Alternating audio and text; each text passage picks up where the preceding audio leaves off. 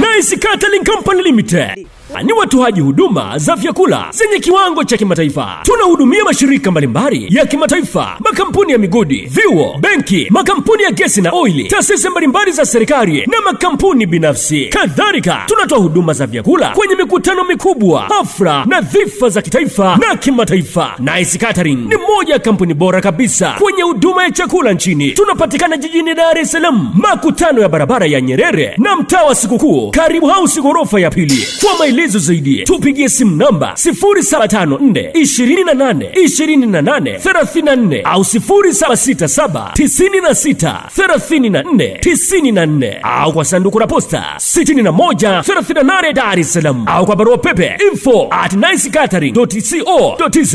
Nyote mnakaribishwa. Mheshimiwa Masache Njelu Kasaka atafuatiwa na Mheshimiwa Salim Almasi, Mheshimiwa uh, Aida Kenani Ajan,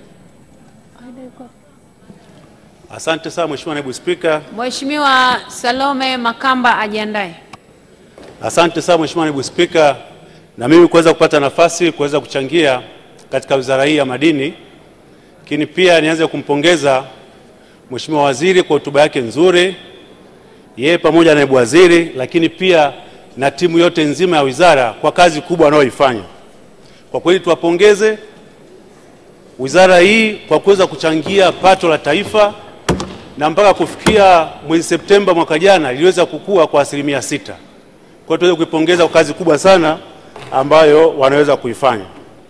Lakini pia Mheshimiwa Naibu Spika, niweze kuipongeza pia wizara kwa namna ambavyo iliweza kusimamia uanzishaji wa masoko. Masoko haya makubwa takribani masoko 39 yalianzishwa, masoko madogo zaidi ya 41 na mengi yanaendelea kuzalishwa, yaendelea kujengwa, lakini pia vituo vya ununuzi vidogo vidogo vile katika vijiji vinaendelea kujengwa katika vijiji vyetu, na hili linaweza kuchangia kwa kiasi kikubwa sana ule namna nzuri ambavyo tunaweza tukazuia utoroshaji wa dhahabu.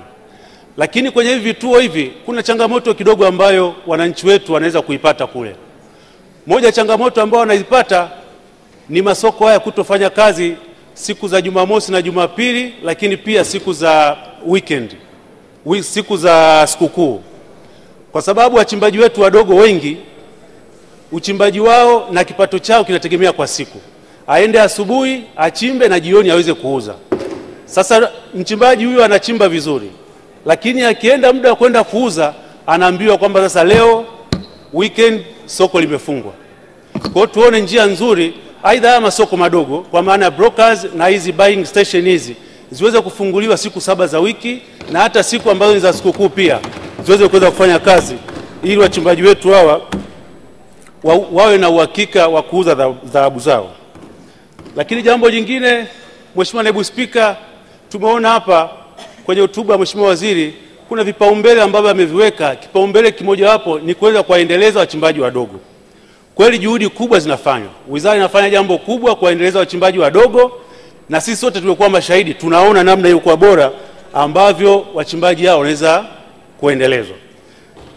Nikumbuke hapo nyuma kidogo, wakati wizara imetengeneza utaratibu wa kuweza kuwasaidia wachimbaji wadogo, iliweza kutengeneza mfumo wa kuwapa ruzuku. Wachimbaji wadogo walikuwa wanapewa ruzuku, na ninakumbuka miaka kadhaa walikuwa wanapewa ruzuku, na mara ya mwisho nadhani kama 2017 au 18 ndio ruzuku hii ilikoma.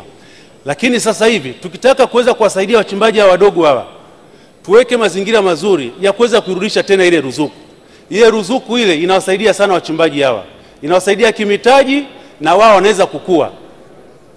Waliokuwepo wizarani watakumbuka wachimbaji wengi waliopata ruzuku ile miaka ya nyuma, leo hii wamekuwa wachimbaji wa kati, wameweza kukua na wao wameweza kuajiri wachimbaji wengine.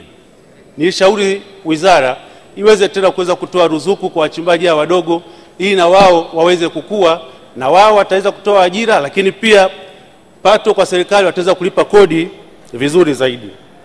Mheshimiwa Naibu Spika, nizungumzie swala la GST. GST taasisi inategemewa sana sana sana wachimbaji, kwa sababu inafanya kazi kubwa, na sisi wachimbaji tunaiona kazi ambayo wanaifanya. Nikiangalia kwenye taarifa hapa ilikuwa nasoma Mheshimiwa Waziri tengwa kwa ajili ya kuendeleza utafiti kwenye hii taasisi ni takriban bilioni tatu tu point nne. Kwa kweli fedha hizi ni kidogo mno ukiangalia kazi kubwa ambayo taasisi hii inafanya na sisi wachimbaji tunaitegemea iendelee kufanya. Mimi nashauri tuone namna iliyokuwa bora zaidi kuweza kuongeza fedha kwenye taasisi ya GST ili na wao sasa waweze kuwa na nguvu kubwa zaidi, waweze kuweza kufanya kazi vizuri, waweze kuwafikia wachimbaji wetu huko na, ta, na zile tafiti zao ziweze kuwasaidia wachimbaji. Lakini pia EGST GST tunafahamu kwamba wako hapa Dodoma, tunashauri waweze kupewa fedha pia, waweze kushuka chini huku mikoani, maeneo ambako uchimbaji huu unafanyika. Wakiweza kushuka huku, itatupunguzia gharama kwa wachimbaji wetu. Mchimbaji anatoka Chunya, anatoka Itumbi, aweze kuja mpaka Dodoma kuja kuleta mawe yake yafanywe tafiti, itachukua gharama, inakuwa kubwa, lakini pia inachukua muda.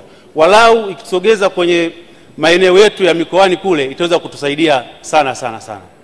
Lakini pia kwenye GST hii tukumbuke, kwenye mabadiliko ya sheria ya mwaka elfu mbili na kumi na saba iliyataka makampuni yote yanayofanya utafiti yakimaliza tafiti zao, kopi ya tafiti zile zilizopelekwa GST.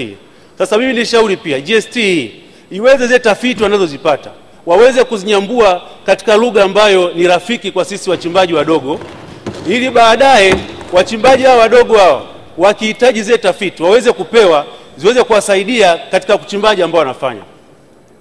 Wachimbaji ambao wapo hapa wanafahamu namna ambavyo wachimbaji wadogo wanachimba kwa kubahatisha, ni kama vile wanapiga ramli tu. Sasa tuondoke kwenye uchimbaji wa kupiga ramli, sasa tuende kwenye uchimbaji ambao umefanyiwa utafiti mzuri, ili wachimbaji wetu wanapochimba kile wawe na uhakika na kitu ambacho wanakifanya. Mheshimiwa Naibu Spika, Mheshimiwa Naibu Spika, pia kwenye swala la kodi tuna wachimbaji wetu wa ndani, lakini pia tuna wachimbaji wetu wa nje. Wachimbaji wetu wa ndani ambao wanachimba nje, wakitoka na mali kule kuingia nazo ndani, bado TRA wanawakata kodi wanavyoingia na ule mzigo hapa ndani.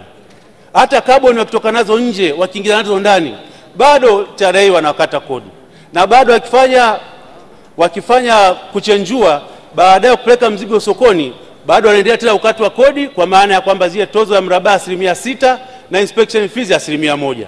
Sasa tuone namna iliyokuwa nzuri zaidi kwamba kama mtu anatoa mzigo nje anatuletea ndani, tusiwe tena tunamkata ile kodi kule, ibakie kodi ya ndani. Hii itawasaidia wachimbaji wa kwetu ambao wako nje waweze kutoa mali kule, waweze kuileta ndani, na sisi tutapata kodi kubwa zaidi hapa ndani. Kwenye upande wa kodi, nilishauri pia namna iliyokuwa bora zaidi ya mchimbaji huyu wakati anauza dhahabu zake tu, tumkate kodi kwa asilimia pale anapouza tumkate kodi kwa asilimia. Hii itaweza kuwasaidia sana. Kwanza itasaidia serikali kuweza kupata mapato ya uhakika, maanake kila anayeuza dhahabu yake au madini yake atakatwa kodi pale pale. Lakini pia itaweza kuwasaidia kwa wachimbaji wetu. Mchimbaji leo anachimba anapata leo, lakini mwisho wa mwaka ndio anakuja kulipa kodi. Kipindi ambacho anaambiwa alipe kodi, fedha naye hana, matokeo yake anakuwa na malimbikizo ya kodi na anashindwa kulipa hii kodi. Lakini tukiweka utaratibu huo kwa asilimia, itaweza kutusaidia zaidi kwa wachimbaji hawa. Lakini pia kuna wale wachimbaji ambao huwa wanachimba lakini hawana eneo, hana claim, hana PML. Sasa huyu mchimbaji huyu kile anachokipata kile, maana yake kama amekipata shambani kwake, maana yake huyu hawezi kulipa kodi kabisa. Sasa tukiweka utaratibu huu, maanake hata huyu ambaye amepata dhahabu yake kwenye shamba lake ataweza kulipa kodi. Pia Mheshimiwa Naibu Spika, kwa upande wa TASAC, TASAC pia Ngele ya pili imeshagonga mheshimiwa. nashukuru sana Mheshimiwa Naibu Spika, naunga mkono hoja. Asante sana. Maridadi Shop ni duka la bidhaa mbalimbali jijini Mbeya, lipo Uhindini West Street, karibu kabisa na benki ya NMB kwa mahitaji yako ya viatu vya ofisini na vile vya mitoko zaidi, nguo za kike, na za kiume kama vile mashati na suruali zake, suti za kike na za kiume. jinsi na tisheti kali. Pia kuna magauni na nguo za watoto wa kike na wa kiume, bila kusahau mikoba maridadi kwa kina dada pamoja na mabegi kwa watoto mashuleni. Kadhalika tunauza vifaa mbalimbali vya michezo na mazoezi aina ya gym, mpira wa miguu, mpira wa meza, vishale na kadhalika. Kwa mawasiliano zaidi tupigie kwa simu nambari 0754 293 au 0754 696 080 au 0754 380 970 au kwa barua pepe habakukimushi 19 gmail.com